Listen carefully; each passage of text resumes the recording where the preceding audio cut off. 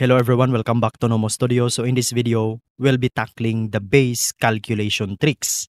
Sa part 1 ng video na ito ay naitackle na po natin kung paano nga ba mag-mental calculate ng percentage. So bali ngayon, base naman po ang ika-calculate natin. Quick recall muna tayo sa triangle of percentage, rate, and base.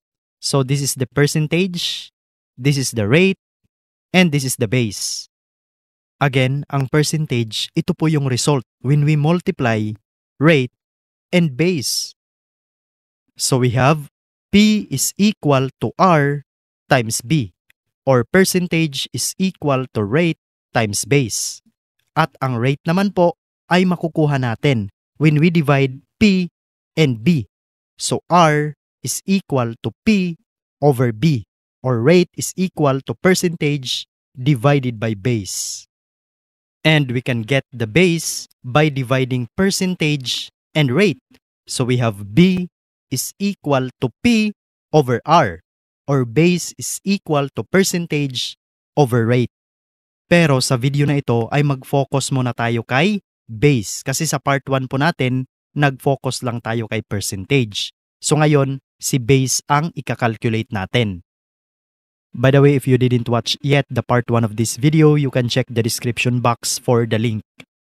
Okay, so let's have our first example. 15 is 15% of what number? Again, ano nga ang ibig sabihin kapag is? Yes, tama. Equal. So we have 15 is equal to 15% of. Kapag of naman, that means multiplication. What number? So ito yung hinahanap natin. This is the missing. So let's assume this is x. So we have 15 is equal to 15% times x. So meron po tayong gagawin dito para mas masagutan natin ng uh, mabilisan para hindi na tayo makapag-consume ng maraming oras. For formality kasi sa mathematics, ang ginagawa talaga is kino-convert muna ang rate na ito into its decimal form. Pero dito hindi na natin i-convert kasi nga ang goal natin is mapabilis ang pagsagot. So ang gagawin po natin dito is ganito. To solve for the value of x, magdi-divide lang po tayo ng 15% to both sides. So divided by 15%, divided by 15%. Ang tandaan nyo lang po, ang i-divide ninyong number is kung ano yung katabi nung missing. 'Di ba x yung missing or yung hinahanap natin? Kung anong katabi nung x na yon yung hinahanap ninyo, yun yung i-divide ninyo to both sides. Kasi nga ang goal natin na x na lang yung matitira. Kasi kung i-divide natin itong dalawa, of course, this is equal to 1. So x na lang ang matitira dito. So x is equal to 15 divided by 15%. So ito na yung isosolve natin ngayon. Pero ano ba ang technique para mas madali nating masagutan ito? So always remember na kapag may nakita kayong percent na sign, nangangahulugan po yan na per 100. Kasi yung percent is from the Latin word percentum, for every 100. So kapag sinabi po pala nating 15%, nangangahulugan po ito na 15 divided by 100. 15 per 100. So kapag sinabing percent per 100, halimbawa sinabi nating 2%, ibig sabihin 2 divided by 100. Kapag sinabing 20%, ibig sabihin 20 divided by 100. Kapag sinabing 75%, ibig sabihin 75 divided by 100. Yan po ang ibig sabihin yan. So, ang ibig sabihin po pala nito, 15 divided by 15 over 100. So, ang ginawa po natin is kinonvert lang po natin ito into its fractional form. So, hindi natin siya kinonvert into its decimal form para hindi tayo mahirapan. Kasi kung decimal, mas matatagalan po tayo sa pagsagot. Now, when we divide a whole number to a fraction, ang gagawin nyo lang po is ikakapi yung numerator. ba ito yung numerator? At ito naman yung denominator. So yung ating numerator is a whole number at yung ating denominator is a fraction. So ang gagawin po, copy the numerator and multiply no, imo-multiply natin siya ngayon sa reciprocal ni denominator. So ano ba ang ibig sabihin ng reciprocal? If-flip lang natin itong fraction na ito. So that means 15 times 100 divided by 15. So baka may nako-confuse kung bakit ganito yung ginawa ko. Actually, this is the general rule of mathematics when we divide a whole number to a fraction. So kinakailangan kapag tayo po ay nagdi-divide ng isang whole number to a fraction, copy lang yung whole number, then instead of division, magiging multiplication na. At yung fraction, if we flip or pagbabalik ta rin ng pwesto, yung numerator and denominator. So in this case, kinapi natin si 15 Then, nag-multiply na tayo instead of division, tapos pinagbaliktad natin ang pwesto, si 15 and 100. Are we good? So now, we can easily solve this one kasi whole number lang at saka fraction, walang decimal, di ba? So hindi tayo matatagalan sa pagsagot. So kapag ka ganito po, kung ano yung imo-multiply natin, di ba 15, imo-multiply natin kay 100. Tapos magdi-divide lang din naman pala tayo ng 15 i-copy nyo na lang po ito. Ito na yung sagot, which is equal to 100. So parang ganito po. If we have 10 times 35 divided by 10, so nagmumultiply tayo ng 10 tapos magdi-divide lang din naman pala ng 10, ito na yung sagot. Another example, if we have 85 times 225 divided by 85, so ito na yung sagot. Kasi nagmo-multiply tayo ng 85, magdi-divide lang din naman pala ng 85, ito na yung sagot. So ibig sabihin po pala nito dito sa ating problem, itong 100, di ba ito yung base natin. So yung 15 pala, ito yung 15% ni 100. Kasi yung base kapag sinabi nating base, ito yung whole amount. Ito yung totality, kumbaga sa isang problem. Whole. Yung 15, ito yung portion ito yung 15% ni 100. So let's have another example. 20 is 12% of what number? So si 20 daw is 12% ng anong number? So obviously ang hinahanap po natin dito is si base. Kasi nga sa part 1 ng video na ito, sa percentage tayo nakafocus. So ngayon naman, kay base lang tayo mag-focus. Sabi sa tanong, si 20 daw, ito yung 12% ng anong number. So hinahanap natin yung totality or yung whole amount in which si 20 ay 12% lamang ng number na ito. So now let's convert this into a mathematical expression. So we have 20 which is equal to 12% times x. So palagi ko pong ginagamit si x kasi mas common na po sa akin. By the way, you can use any letters in the alphabet. Or pwedeng si B na lang para base. So now let's divide 12% to both sides. So divided by 12% divided by 12%. So this is 1. So x na lang. So we have 20 divided by 12% equal to x. So again, kapag sinabi po nating 12%, ibig sabihin 12 per 100. So we have 20 divided by 12 over 100. So kinonvert lamang natin ito into its fractional form. Again, ano ang gagawin when we divide a whole number to a fraction? Copy the whole number which is 20. Then, instead of a division, magiging multiplication na. At i-flip or i-reciprocate pagbalik rin natin ang pwesto si 12 and 100. So this will become 20 times 100 divided by 12.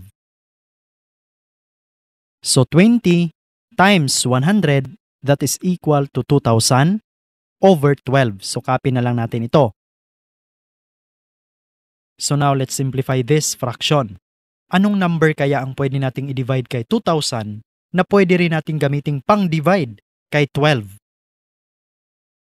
So kinakailangan po ang ipang-divide natin kay 2012, ito po yung greatest common factor or greatest common divisor para masimplify po natin ang fraction na ito.